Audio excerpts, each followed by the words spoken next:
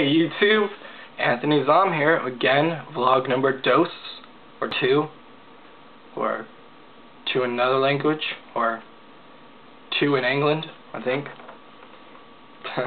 Anyways, I just like, you know, didn't really feel like, you know, today was a vlogging. I really don't know what is a good day to vlog. I mean, last time I did it on Wednesday, today's Monday, um, don't really know what should be a good day. I mean, maybe I could do it around the week for sure. Weekend, maybe.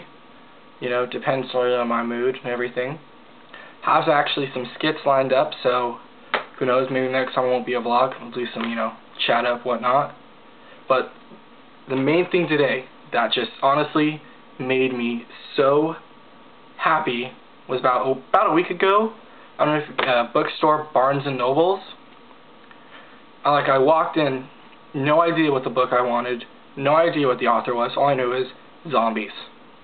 And yes, I have a deep love for zombies. I mean, I have loved them since I was, God, young as I can remember when I loved horror movies, which I have for a long, long time. And zombies, for some reason, just absolutely love them. Like, just so cool. Not really more scared, more of like, if that were to happen, I'm totally fucking ready. but to the main point, the idea of like zombies always fascinated me, and so I walk in there. I'm saying, yeah, just get any uh, any book about zombies, and they file them on their computer, and like I thought it was awesome.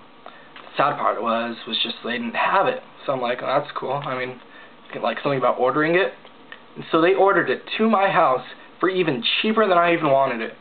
And I'm not trying to advertise or anything like you know go there, but I'm saying that was awesome. And just today,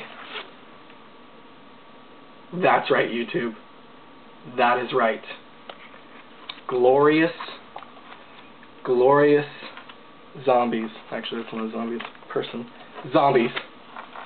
Ooh. I'm going to crack down on this. I'm going to tell you if it's good. And if it is, for sure you better believe it. Because I'm a fan of Max Brooks and like, you know, his zombie survival guide. I've read World War Z. And I'm absolutely in love with him. So I'm going to tell you how this book is. Alright, later YouTubers. I'm going to go read this and fool around with other things. See you on the flip side. Was that too catchy and too corny? I mean, should I do something else? I do like a Criss Angel something? Like, you know, just be like...